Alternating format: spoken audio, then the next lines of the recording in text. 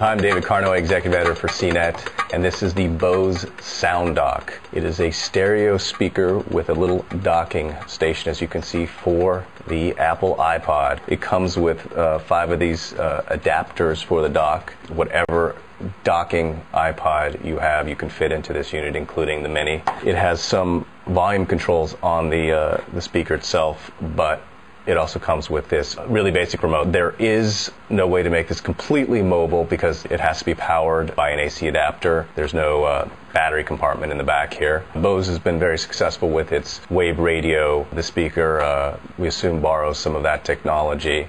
Uh, probably won't fill really large rooms, but it will definitely fill small rooms fine. The one big drawback of this speaker is that it comes with no connectivity besides the dock in the Frontier for iPods. So if you wanted to connect another device to it, uh, you can't do it.